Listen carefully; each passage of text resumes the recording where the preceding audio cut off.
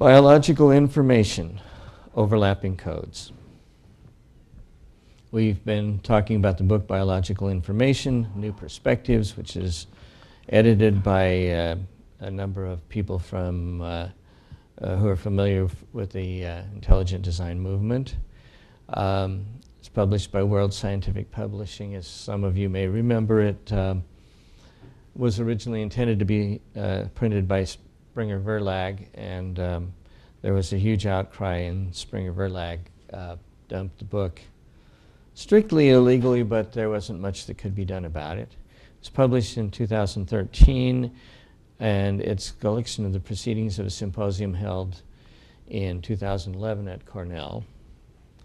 Not officially sanctioned by the university, but they rented out the uh, auditorium, and uh, John Sanford lives at Cornell as a professor there.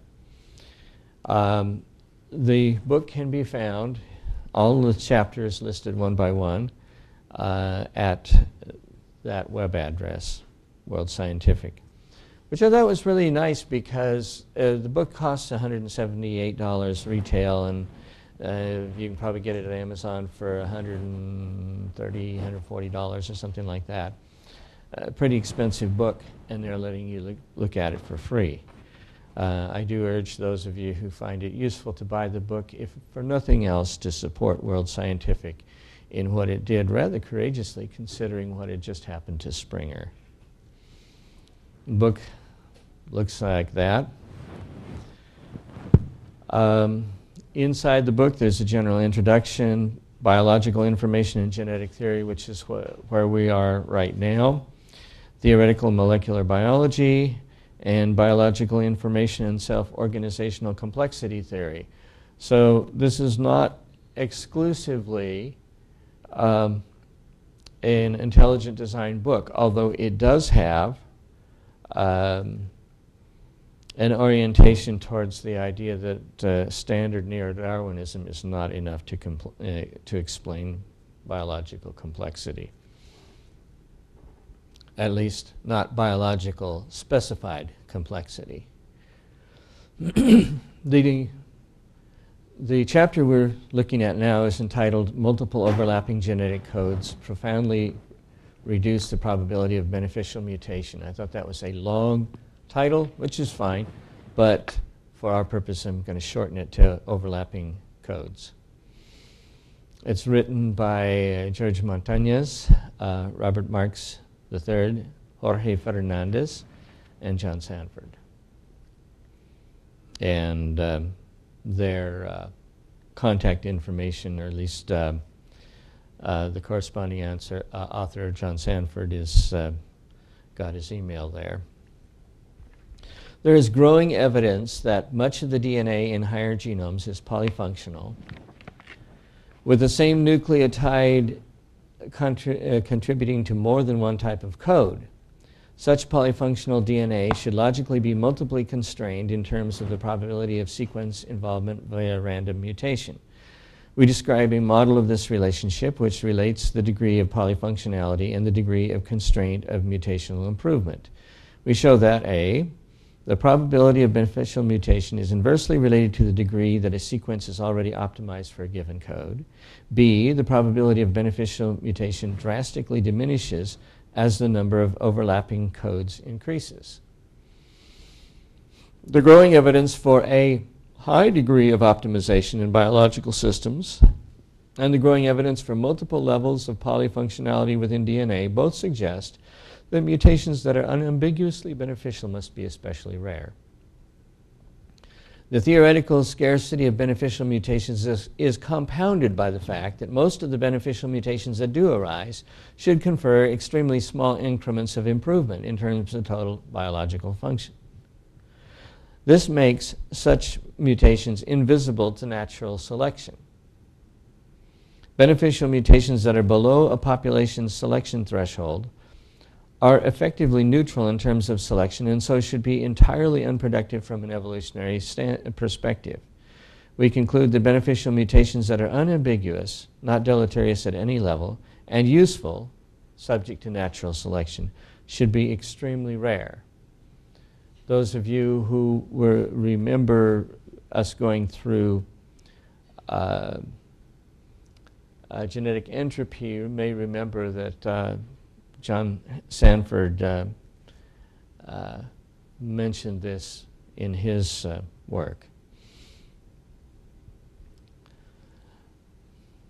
Introduction. It is almost universally acknowledged that beneficial mutations are rare compared to deleterious mutations. Almost. However, there is controversy regarding just how rare beneficial mutations actually are. It appears that beneficial mutations may be too rare to actually allow the accurate measurement of how rare they are.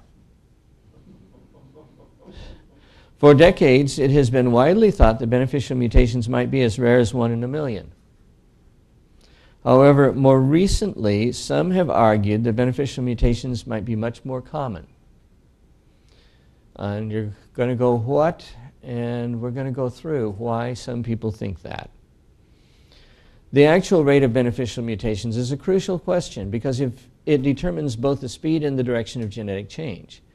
If beneficial mutations are extremely rare, this profoundly limits the rate and range of all forward genetic change. Furthermore, to the extent that beneficial mutations may be extremely rare, the question arises how can there be any net gain in total biological fitness? This question arises because it is widely recognized that in large genomes, most mutations should have very small effects. And so large numbers of low, low impact deleterious mutations should not be subject to purifying selection. You recognize that theme in genetic entropy. This means that over time, large numbers of such deleterious mutations should accumulate continuously, leading to ever increasing genetic load. In order to halt such genetic deterioration, one must invoke the continuous amplification of a large number of beneficial mutations to fully compensate for all the accumulating deleterious mutations. Fisher addressed the problem of the rarity of beneficial mutations as long ago as 1930. This is a classic article. He argued that beneficial mutations might be quite common. In fact, there's a theorem that he put out, which sounds like it's mathematically proved. He used the illustration of focusing a microscope. A random change in focal length has a nearly equal chance of either improving or diminishing the focus, assuming three things. One, the microscope is significantly out of focus. Two, the change in focus is very small. And three, focus is just a one dimensional trait, a single knob turned either up or down. We now know that Fisher's three necessary conditions do not apply to the real biological world. Biological systems are highly optimized, and there's a pretty close to focused already. Um, a beneficial mutation must be subject to selection, so its biological effects must not be too small. So, very tiny changes in focus are not feasible because they're not noticed by natural selection. And fitness is extremely multidimensional. There is much more to biological functionality than optimizing a single parameter such as focal length. Fisher acknowledged that focusing a microscope just involves optimization, optimization in a single dimension and conceded that to the extent that fitness is not a simple one dimensional trait, his analogy would break down. He went on to show that as the number of dimensions in fitness increased, the probability of beneficial mutations should rapidly decrease. This insight was profound, yet in his day he could not have realized how extremely multidimensional biological fitness really is. Fisher lived before the revolution in biology. He knew nothing of cell biology, molecular biology, or molecular genetics. Remember, the genetic code came along in uh, 1953 or so. And if that's what really happened, and Fisher's writing in 1930, he wouldn't know about uh, the DNA code at all. We now know that total biological fitness is multidimensional in the extreme. In a sense, every functional nucleotide within a genome, every functional nucleotide, we're going to leave out the non functional ones, adds another dimension to the fitness equation. So, in a sense, Fisher's allegorical microscope has millions of knobs that must be focused simultaneously and interactively. In the last decade, we have discovered still another aspect of the multidimensional genome. We now know that DNA sequences are typically polyfunctional. Trifonov previously had described at least 12 genetic codes that any given nucleotide can contribute to, and showed that a given base pair can contribute to multiple overlapping codes simultaneously. The first evidence of overlapping protein coding sequences in virus, viruses caused quite a stir, but since then it has become recognized as typical. According to Kapranov et al., it is not unusual that a single base pair can be part of an intricate network of multiple isoforms of overlapping sense and antisense transcripts, the majority of which are unannotated. The ENCODE project has confirmed that this phenomenon is ubiquitous in higher genomes, wherein a given DNA sequence routinely encodes multiple overlapping messages, meaning that a single nucleotide can contribute to two or more genetic codes. More recently, Itzkovitz et al. analyzed protein coding regions of 700 species and showed that virtually all forms of life have extensive overlapping information in their genomes. So not only are there many knobs in Fisher's microscope analogy, each one can affect multiple traits simultaneously and interactively. Uh, to try to stretch the analogy, it's as if there are a whole bunch of microscopes whose uh, focusing apparatus are stuck to each other. So that when you turn one knob, you turn the other knobs at the same time.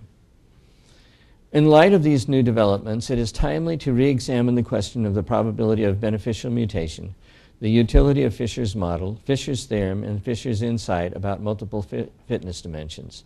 This paper examines the probability of a selectable beneficial mutation arising within a DNA sequence that is functional, hence must be significantly optimized, and contains multiple overlapping codes.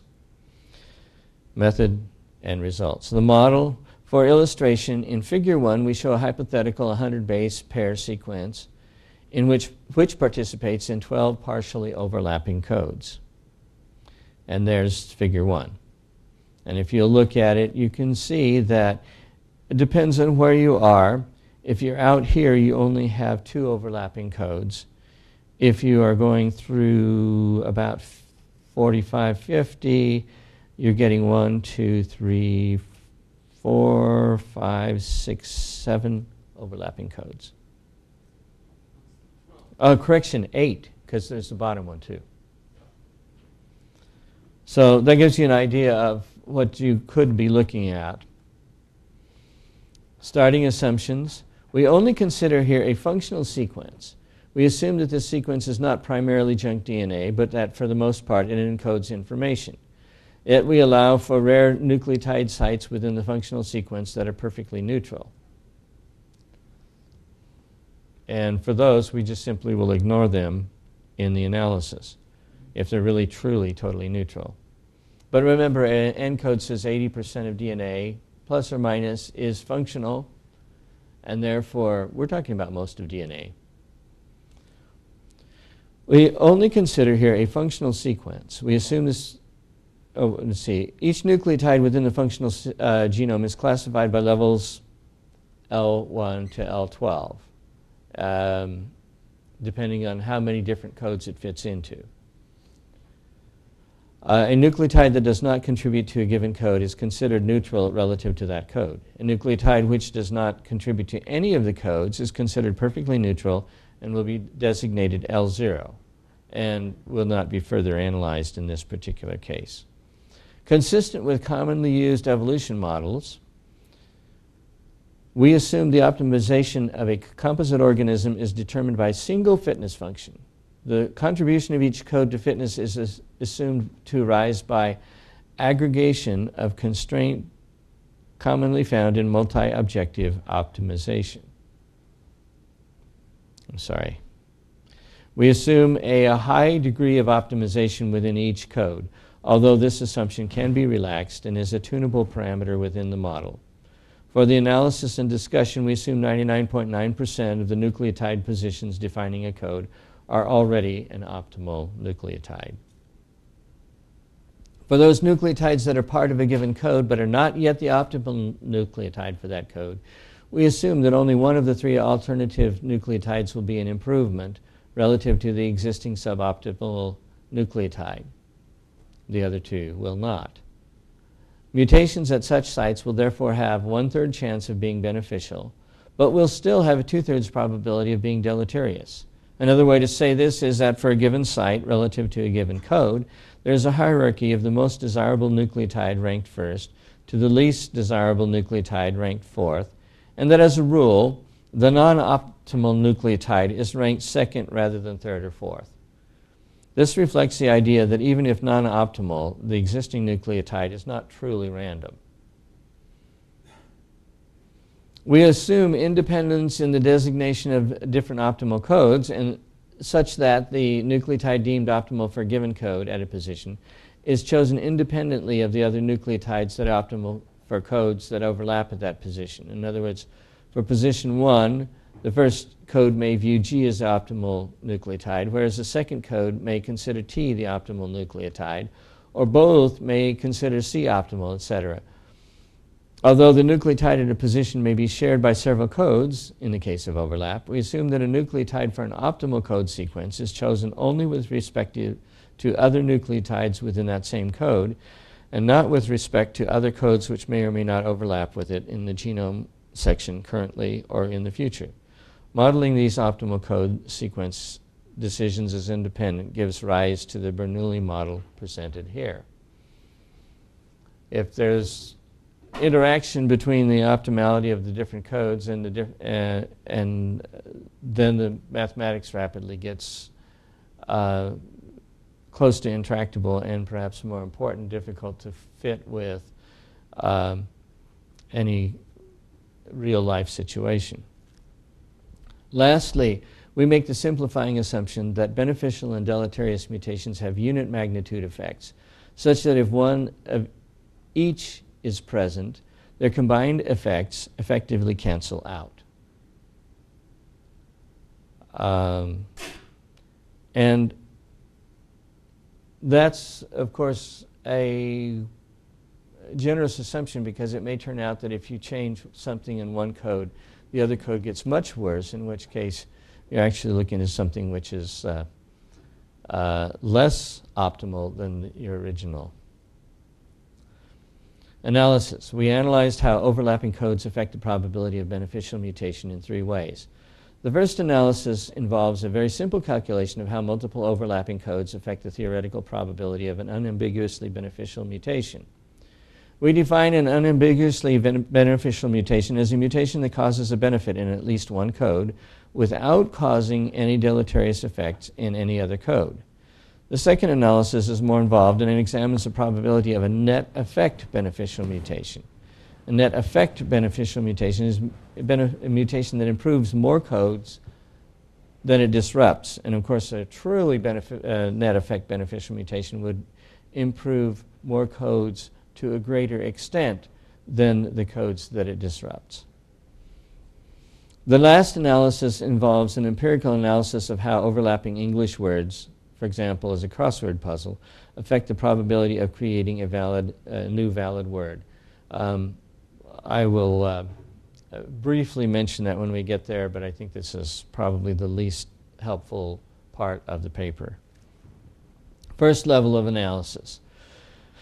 When we consider polyfunctional nucleotide sites, it is relatively simple to calculate the probability of mutations which are unambiguously beneficial.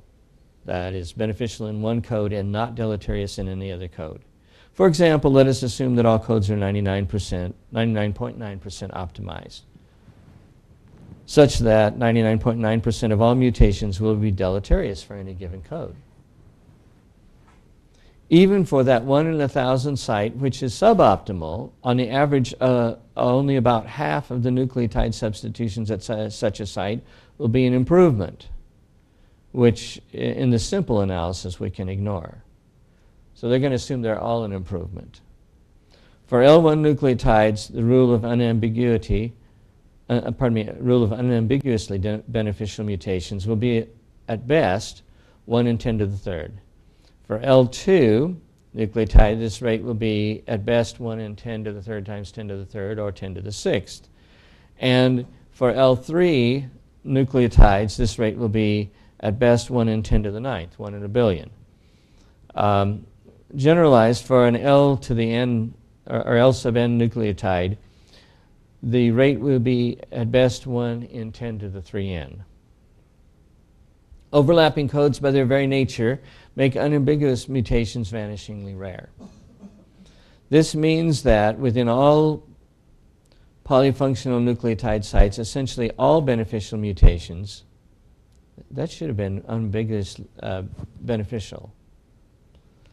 All beneficial mutations will at best be ambiguously beneficial, being beneficial at just one level, but simultaneously being deleterious at one or more levels. Therefore, at any polyfunctional nucleotide site, a beneficial mutation will almost always con- still consistently have deleterious effects, systematically eroding the total amount of information in the entire information system. Second level analysis, this is the more complex one. We can calculate the probability of a net effect beneficial mutation for each nucleotide level L1 to L12 as described below. Within a given code, assume that the sequence are highly optimized. We use a probability optimal uh, equals 99.9% or 0.999 of all nucleotides being optimal in our recurrent example. In the case of optimal nucleotide bases, any change is deleterious, assuming no neutral changes.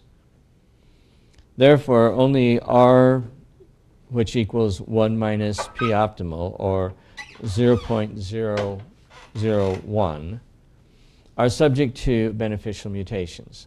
There are absolute, no absolutely neutral positions in any given code because, by definition, such a position is not part of that code. Remember, we excluded the L0 uh, ones. The conditions for net beneficial or net deleterious changes, therefore, are as follows.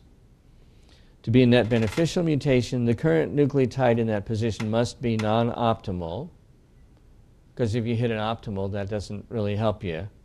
That's already optimal. Um, in fact, it's likely to hurt. The change must be a beneficial nucle- must be to a beneficial nucleotide, which occurs with a within a one-third probability, denoted as p beneficial um, line non-optimal, or given non-optimal is uh, that's actually Bayesian um, which someday we should go over. Uh, to a net deleterious mutation, the current nucleotide in that position can be optimal, and therefore we're making it worse, or the change must be to a deleterious nucleotide, uh, even though it's not optimal. We, uh, we wanted G, we started with T, we changed to A, it's not optimal. Um, still, which can occur with a two-third probability, denoted as 1 minus p beneficial given non-optimal. And that means that the pr- probability of beneficial mutations equals p non-optimal times p beneficial given non-optimal plus p optimal times b, p beneficial optimal. And that can be reduced to P non-optimal because uh, this term goes to 1 and that term goes to 0. Uh, and that means that this is the same as 1 minus p optimal times p beneficial non-optimal, or because 1 minus p optimal turns into r, we have R times P beneficial given non-optimal. Given the stated assumptions for any single code, a mutation in that at a position chosen at random that mutates has a probability of being a beneficial mutation equal to PB, which equals to one third uh, times R, which is 0. Point, instead of 0.001, it's 0.00033. 333. This in turn means that a random position that mutates has a probability of being a deleterious mu- mutation equal to 1 minus PB, which equals to 0.999666666 bar. A mutation occurring to uh, a single nucleotide may be beneficial or deleterious for any given code. As per previous discussion, neutral cases are excluded. Let's consider a few specific cases before generalizing. If the nucleotide is an L1 nucleotide, then there is only one possibility. A mutation will be either beneficial or deleterious with PB equals 0.00033 and 1 minus PB equals 0.0, pardon me, 0.99967. If the nucleotide is an L2 nucleotide, then there will be four possibilities. A mutation may be beneficial for both codes, mutation may be beneficial for the first code and deleterious to the second code. A mutation may be deleterious to the first code and beneficial to the second code, or a mutation may be deleterious to both codes. And if you assume that this is um, equally distributed, for such nucleotide positions, there's a value for each code, each of which is either beneficial or deleterious. We make the simplifying assumption that where there's a beneficial effect in one code and a deleterious effect in another code, these effects will essentially cancel, leaving a neutral effect. Therefore, B, B will be beneficial, DD will be deleterious, and DB and BD will be neutral. In that case, P beneficial equals PB equals PB squared, which is 1.11 times 10 to the minus 7. Remember, it was originally 3.3 times 10 to the minus fourth, which we've just lost three, um, three orders of magnitude. P neutral equals PBD plus PDB, and, um, and the math works out to 6.66 times 10 to the minus fourth. And P deleterious equals 0.99933. Now notice that technically it's not 0.999999888. But the difference between 0.99933 and 0.9999988 is so small as to be negligible. And if you put 1 times 10 to the minus 7th divided by either one of those, the answer comes out to be basically 1.1 times 10 to the minus 7th. In all other cases where most more than two codes are involved, there can be more than two factors to consider. For example, for L3 positions, there are three levels of mutational effect. If the nucleotide is an L to the N nucleotide, then there will be roughly two to the N possibilities. To generalize, uh, no, you don't want to know this one. Um, I will just say that this is a very easy uh, thing for a computer to calculate because all it's got to do is go through the steps one at a time and put in the numbers. That's why we have computers to do those things instead of people like you and me. Uh, the value of PBL, the probability of beneficial mutation in equation 1, rapidly goes to 0 for increasing L when PB is much less than 1 because differentiating between probabilities like 10 to the minus 11th and 10 to the minus 22 is intuitively challenging, we propose the use of the information measure, which we've seen elsewhere. Uh, the information is equal to the log 2 of the probability for beneficial mutations. And again, I'm skipping through this because um, reading the whole thing would take well over the time allotted. A high degree of optimization makes beneficial mutations unlikely, even when considering just one code. As more codes are considered, the probability of beneficial mutation diminishes rapidly, as is shown in figures 3, 4, and 5.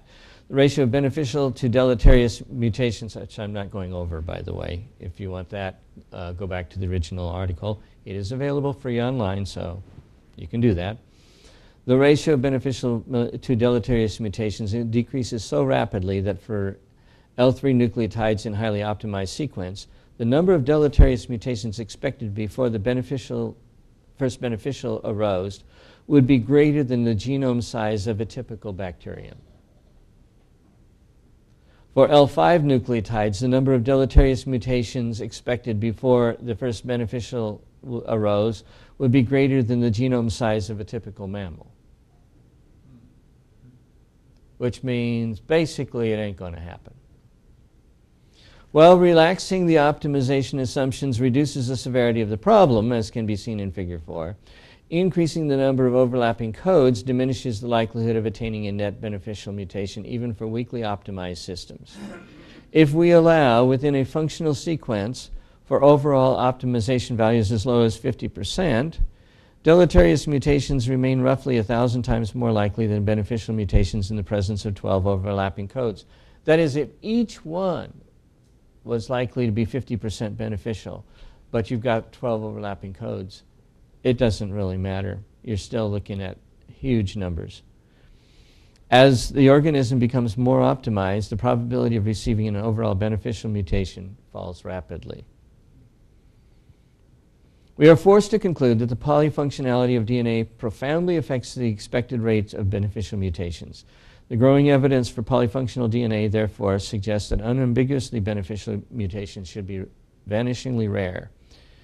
And then this next section is entitled English Crossword. Well, it's not entitled, it's, I think it's called Crossword Puzzles, but it's English Crossword Puzzles, is what it's talking about. And for example, you have dog and grateful, which overlap in the first letter of grateful and the last letter of dog. Okay? And they have a common letter G. And you can change the dog to dot and still get something that makes sense. But that changes grateful to the non English traitful, which doesn't make sense. Deleterious change. However, in some cases, we can make an overall beneficial substitution so that if you do go, dog and go overlap on the G, now we can change the G to T and we can get two as well as dot. Now, are English crossword puzzles precisely analogous to um, uh, to uh, DNA? Probably not. And so that's why the value of this is only to give you a general idea rather than to be very precise. But it is interesting that in English, if you have 11 overlapping words, similar to 11 overlapping codes in our biological model, we were unable to find a single example of an overall beneficial change during our tests. That means that if you have 11 words that have the exact same letter and you change them to any other letter, at least one of the words will not make sense. This is really rather striking when you think about it. Summary of results.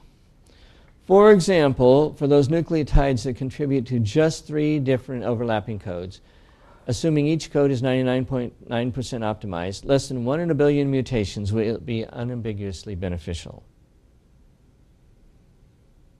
Possible objections. Contrary to the thesis of this paper, some scientists have argued, remember we had this before, that beneficial mutations might be extremely common, even approaching 50% of all non neutral mutations. The concept that beneficial mutations might be extremely common traces back to some simple mental construct suggested by Fisher. Fisher's paper is where that idea came from. Fisher's most famous illustration, as you may remember, was the example of focusing a microscope. And I'm going to skip some of that because we've been over it already.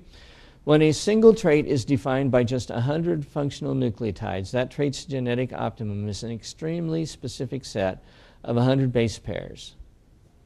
One specific set of 4 to the 100 sets, or 1 in 10 to the 60. If that trait is anywhere near its optimum, then there are a multitude of mutations which can make the trait worse, but there are very few opportunities to make the trait better. This is analogous to a random letter change in a text that results in a superior text. And by the way, if it's an original thing fresh from the hand of a perfect creator, every single mutation will make it worse. As a message becomes more and more complex and refined, a text change must be more and more specific in order to enhance that message. And hence, the greater the constraint, for achieving improvement via any random change. As this paper shows, the recent discovery of polyfunctional DNA vastly compounds this problem.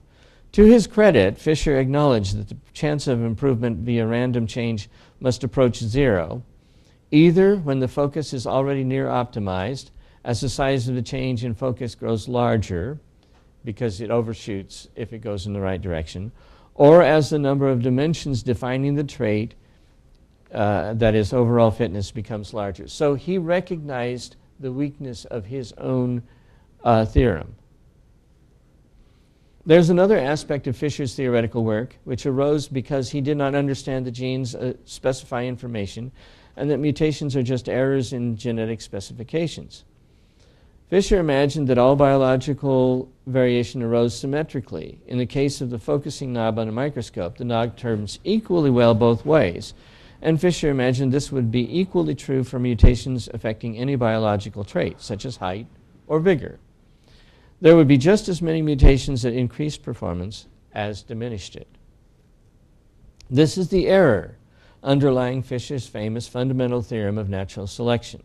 Given a population with performance levels following a bell shaped curve, he reasoned that any level of selection will always remove at least some of the underperformers and will favor at least some of the higher performing individuals. This would consistently yield higher mean performance in the next generation. He then assumed that new, new mutations would arise, creating the new variation symmetrically around the new mean. This is what led Fisher to believe he had a mathematical proof that continuous evolutionary improvement was unavoidable.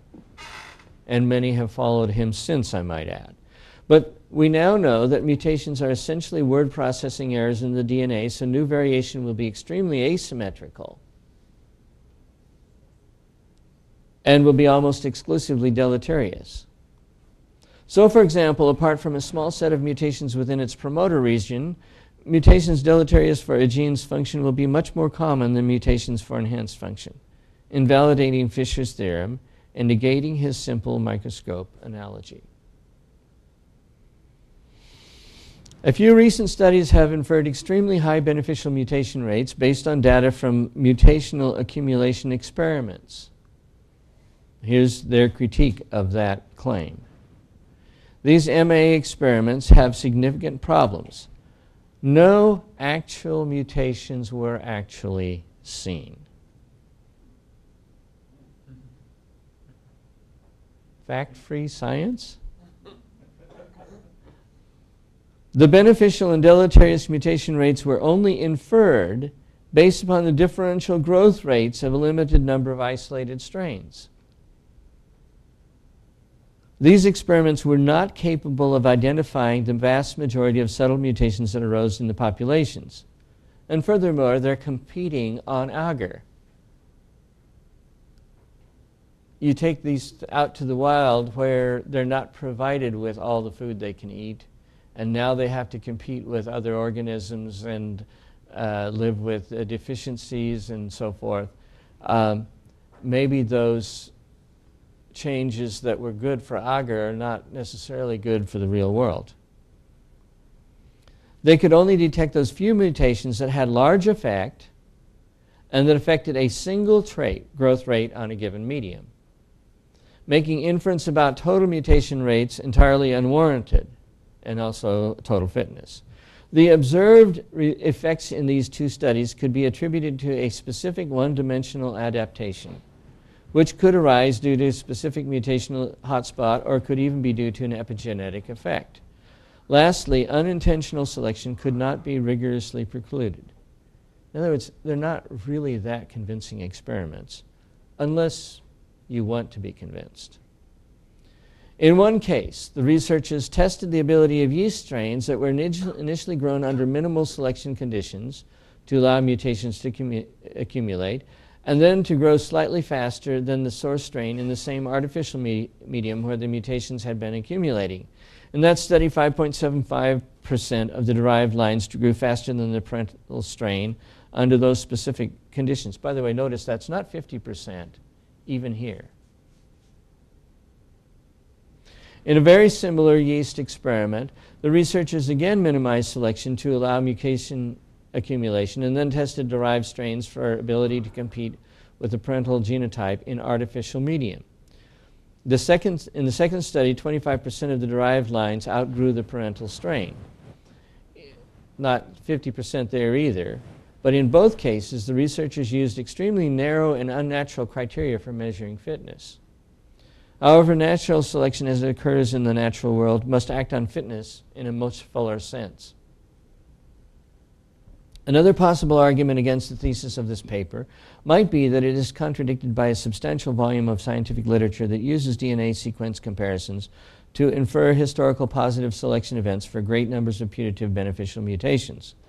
It is important to realize that the vast majority of the putative beneficial mutations claimed in these papers are just observed alternative nucleotides with no known biological function, the presumed benefits being inferred, not being in any way understood or observed.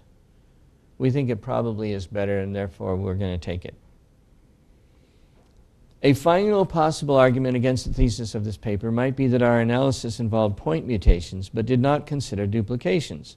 Some might argue that the genetic duplications are especially likely to be beneficial. However, in terms of immediate effects, duplications are more likely than other, other mutations to cause harm.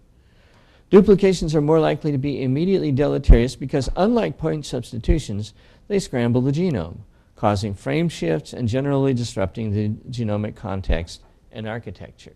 And some of those codes require things that fit together. Like the duplication of letters, words, or paragraphs in regular text, genomic duplications add nothing but systematically disrupt context. Furthermore, unlike other types of mutations, duplications increase metabolic load for the host cell in terms of DNA replication, repair, transcription, and translation. It takes energy to make all of those extra nuclei, uh, nucleotides. So, if a duplication is neutral in terms of information, it is by definition a deleterious mutation.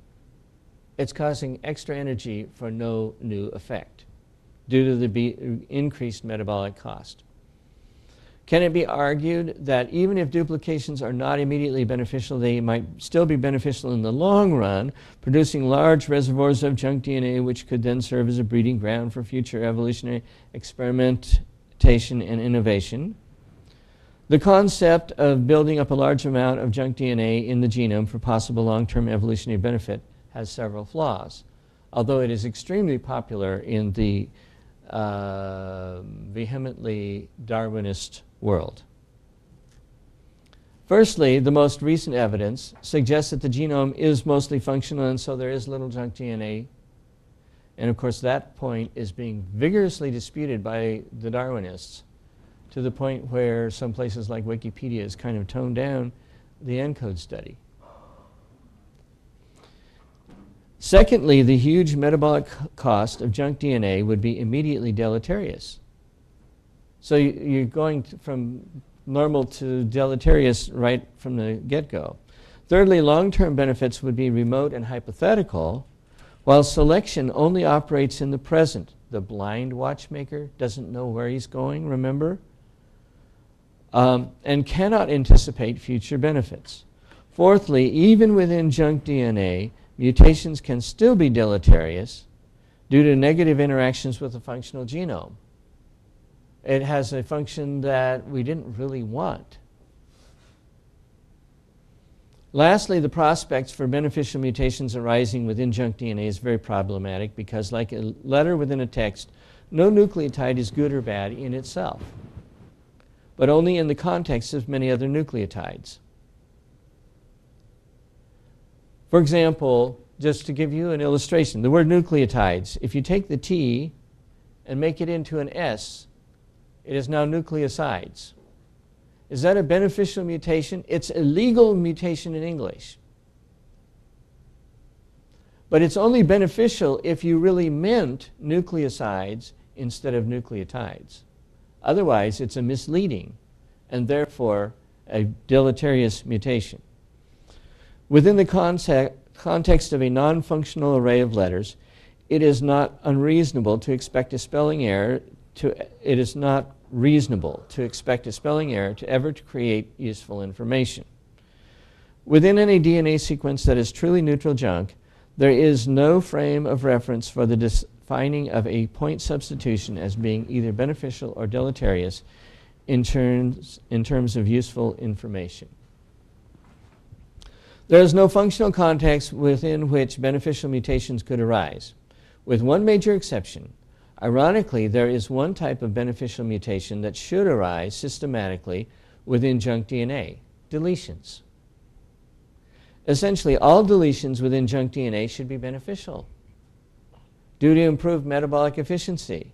So, to the extent that selection is actually operational, all junk DNA should be systematically deleted. This should happen long before enough beneficial mutations might accumulate within the junk DNA to give it a new and meaningful biological function. Conclusions. Our analysis confirms mathematically what would seem intuitively obvious. This should be beating a dead horse.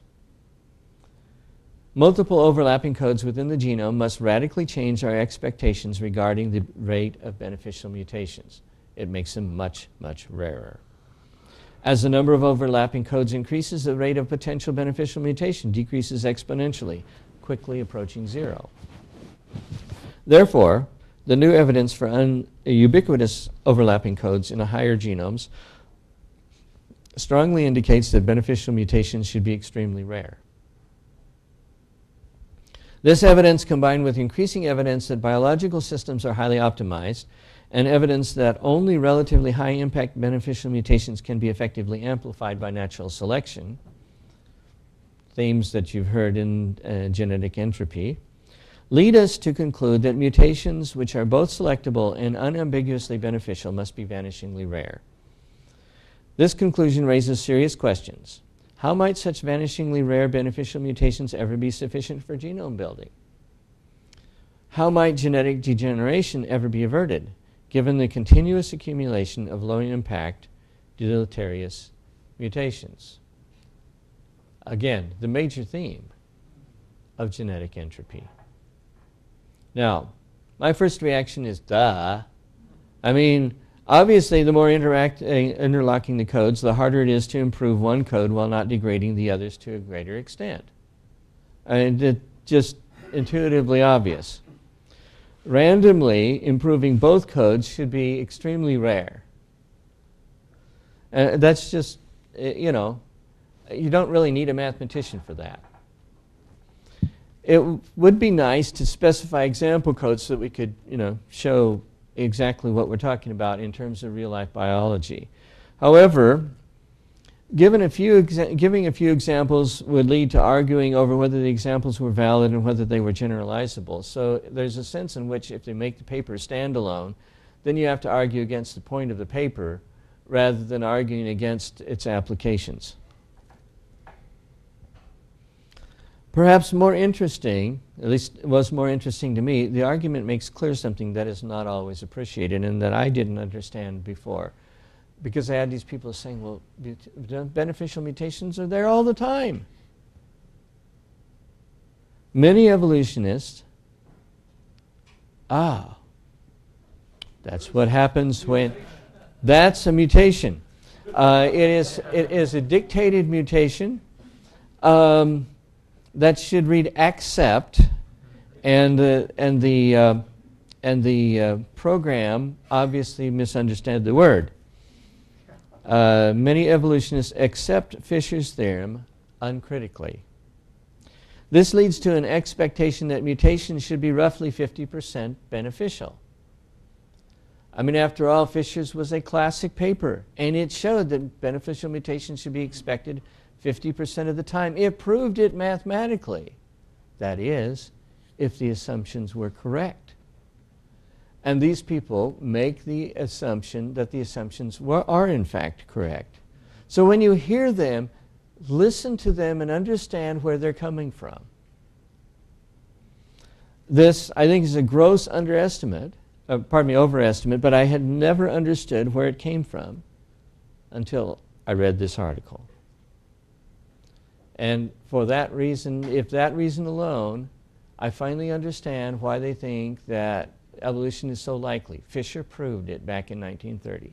Wow. Um, but that's my opinion. Now it's your turn.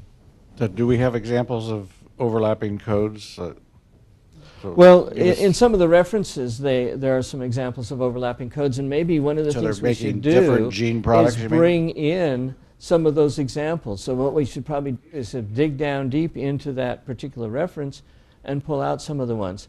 But I can give you an example.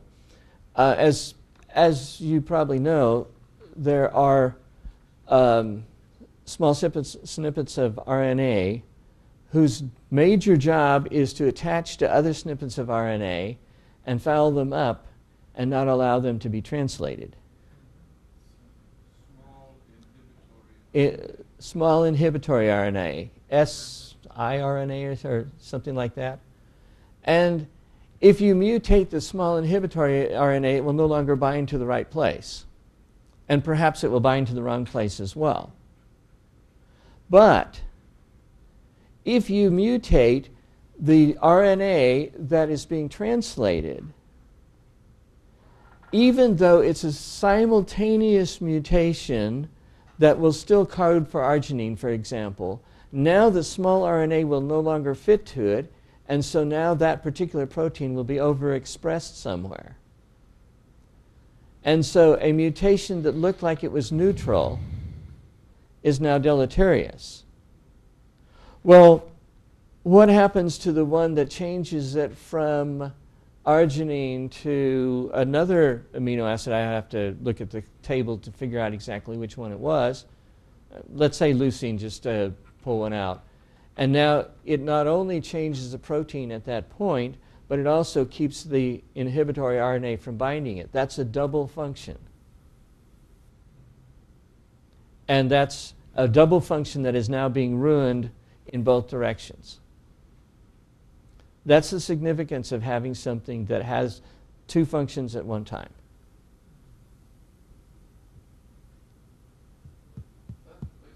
Um, uh, can we pass the microphone up? Go ahead. Th- These concerns are basically not just for genetic uh, variability, but for any system that is tightly integrated. The more components the system has, the more integrated each component is in all the other components, the more difficult it is to just randomly substitute things with whatever else you think it might work.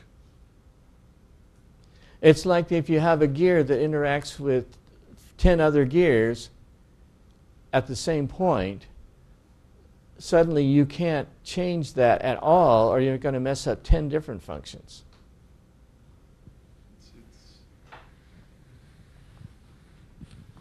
Yeah, uh, go just a minute.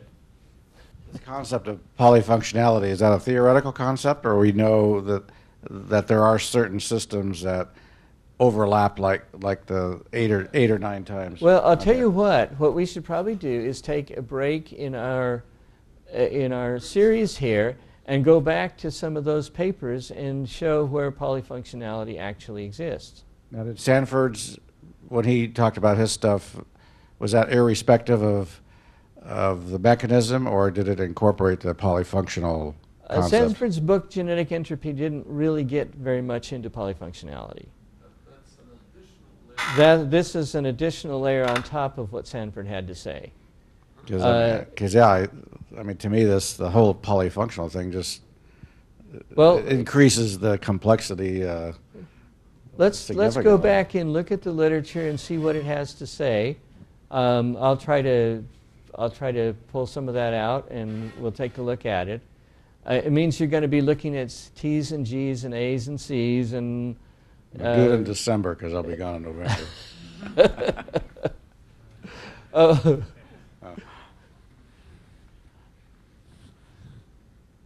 well, um, if you wanted to put it off till December, we'll see if we can do that. In December, yeah.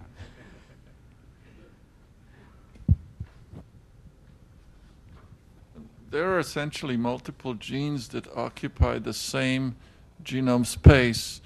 Uh, some are out of register with respect to one another. Some are on the opposite side of the DNA. In other words, one would be antisense to the other, relatively speaking, though we, we're only concerned with the sense of the gene in the sense that it's translate, uh, transcribed. But you see, you can transcribe one gene in this direction and the antisense version of some portion of the gene in the opposite direction. And there is actually, in theory, you could be running three different genes concurrently On in one side. direction and three more in the opposite direction if, Uh, if they're all of the same size. That's because they can be out of register with respect to one another. But when you're starting to talk about varying sizes, there are many examples of one gene going in this direction and several other genes going in the opposite direction on the um, antisense portion uh, that have nothing to do with, and they're very different sizes and everything. And, and trying to envision how you can evolve all three system. of them or five of them or however many there are at the same time, it just boggles one's mind. Uh, They're putting numbers to it, but it doesn't. It does not really make intuitive sense. The reason why I've been playing with some of these ideas is because I was thinking in terms of, all right, how, how do we maximize the storage of information in DNA? How, what are the limits to the total amount of information you can pack into it? And the moment I began to think in terms of these additional layers of complexity, geez, it, it begins to become simply mind boggling. And this doesn't even begin to speak on the subject of the original doctrine that used to be the standard dictum. One gene goes to one trans- um, messenger RNA, goes to one protein. Now we know that one gene produces potentially many messenger RNAs which any one of which can produce numerous different proteins. You're saying if you spell it in reverse, it can produce different gene products, Yes. different proteins. Well, here, here's here's the easy way to do that. It's that various ones have introns. Uh, various genes have introns, and there may be, let's say, let's say there are two introns. Okay. Um, that means you have an exon at the beginning, an exon in the middle, and an exon at the end. So you can produce, if you cut out those introns, the standard protein. But if you want to, you can cut out the both introns as one giant intron, in which case the middle exon disappears, and now you have a protein that has the first and last part. Well, as you can imagine, if you have six or seven of these, you can have A, B, and F, you can have A, C, and F, you can have A, C, and E. Uh, the combinations rapidly go completely wild. And so you can have one protein, uh, one gene that codes for 100 different proteins. Because you have an intron and an extron ec- combined in a way that produces a different product? Or those are discrete? Well, the, the introns are supposedly always cut out, So you can't- but the problem is that you know For certain sometimes they'll gene take an exon with them. Yeah, we'd have- How you combine the coding regions one with the other? They come in modules. You know what? And Let's- sometimes you recombine them in various ways. Make it this way so we can get a three-way conversation The, going here. the alternative splicing is a very prominent um, feature of transcription these days, and the alternative splicing is frequently seen as a feature in different cells in the same organism, uh, or perhaps at a different period of the cell cycle. But then you'd have to have different start and stop codes for those two? That's, well, the start and stop codon, even if it's the same, there are other combinations that are um, altered. For example, if you're talking about a kidney cell as opposed to a liver cell, as opposed to spleen or lung or brain or such. So you see, you may be using the same original gene, but you're going to express it in a very different way depending on where you are. As a matter of fact, this kind of thing turns out to have clinical significance. You've heard of beta HCG, you know, pregnancy test. Why is it beta HCG? Because the alpha part of HCG happens to be identical to the alpha part of, if I remember correctly, LH. Uh, there's, there's two or three different hormones that have the same alpha and a different beta. And that's why they had to make antibodies to the beta HCG part of it instead of the alpha, because otherwise the luteinizing hormone goes up and, and you think the person, the lady is pregnant when in fact she just happens to be uh, at the point of ovulation. Uh, that's why the new pregnancy tests are so much more accurate than the old ones were. And that's why they can detect pregnancy so much earlier, is because you can go a lot lower if you're testing for beta part of HCG than you could from alpha. So it turns out to be actually something that we've kind of known all along.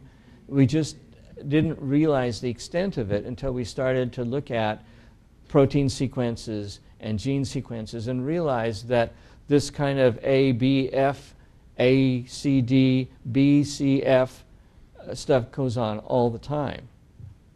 And then on top of that, then you have proteins when you finally have the product with multiple very different functions. For example, you have lens crystallins that in other cells have an enzyme function. Here they have a physical function of diffracting light. Over there they have an enzyme function of some other kind. So, how are you going to optimize this? By mutation, randomly. So you mutate it so the eyes can now see better, and now the enzyme function is lost. Yes. We should do a couple, a few classes just on a primer on the genetics for the, for the group. So try that one. Well, we'll try to we'll try to bring out some uh, some stuff on polyfunctionality of of, of genomic stuff. Uh, I think it'll be very interesting to see how much overlap there actually is. I read somewhere uh, about one gene could produce over, well over 3,000 different products. Uh, it depends on the gene. Some genes pretty much do one thing and one thing only, but some of them have a lot of overlap. Uh, and that's part of the point of this whole thing is that uh, the, the genome is actually fairly compact. And that means that you have overlapping codes and, and overlapping functions to any given code. And so um, you wind up with those things, it's very difficult to evolve positively. And the fact that they're even there is very difficult to account for from that perspective. Well, again, those of you who are um, able, we invite you to come to our, our meeting this afternoon. And uh, uh, next week, we'll, Which room or which? this is uh, Centennial at the Damazo Amphitheater. Um, a- and then next week, we'll continue, I think it will continue with the book, but we'll try to, in December, we'll start a series especially on overlapping codes and what the actual evidence is. Uh, Leonard Brand, well, actually, the person that's running it is Jim Walters.